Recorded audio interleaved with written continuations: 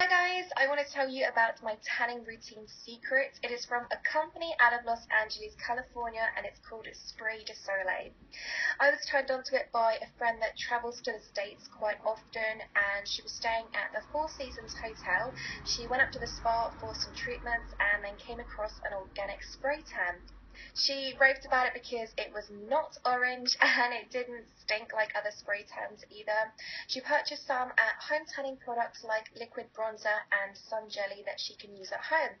I've tried them and I am obsessed. You can check them out at www.spraydisole.com.